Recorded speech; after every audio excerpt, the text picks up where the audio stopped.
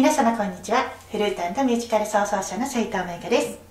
はいまた時期外れの曲がやってきましたね。J で吹こうと G で吹こうと D で吹こうと今の時期では間違いなくないかなと思うんですけれども、えー、と一応ねあの音源シリーズあの前後に多分またがってる方が後に皆さん探しやすいかなと思うのでねマイカの小部屋第250何番ってねあのついてるかと思うのであのそのそばに多分ないとあれどこだっけあのやりたいけど参考になる音源どこだろうって探さなきゃいけないかなと思うので一応ね教本の順番通りに、えー、季節関係ないんですけどもはいあの音源としてはね。まとめてあげさせていただこうかなと思っています。時々ね間にね違うイレギュラーなものが入ることがあるかもしれませんけど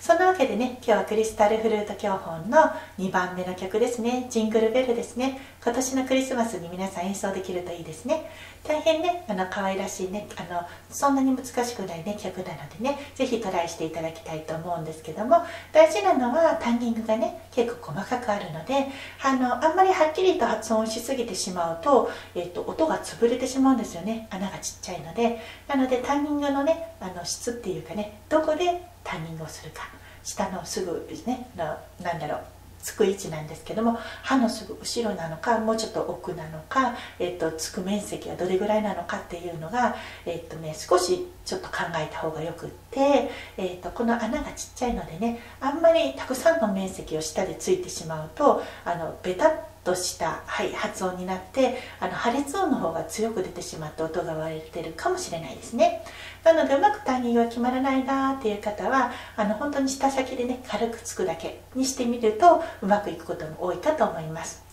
えー、タイミングとかスタッカートっていうのは基本はねあの長いロングトーンの音綺麗な音があの基本としてあってそれをこう、まあ、4か切るみたいに下で切っていくわけなんですけども、はい、あのそのね切るのも、まあ、言ったら包丁と同じでね切れない包丁とかあの、うん、調子の悪い包丁でこう切っちゃうとぐちゃぐちゃに潰れるのと一緒で、うん、タイミングっていうのは本当にあの音に刃物を入れるって言い方変なんですけど上手に切り分けていくっていうことがね非常に大事なので特にクリスタルフルートの割と短めの楽器っていうのは穴が小さいのでタンギングを上手にね潰さないように音を潰さないように入れていくっていうことにねあのトライされるといいんじゃないかなと思います。それぞれ皆さんね苦手な音があると思うんですよタンギングの。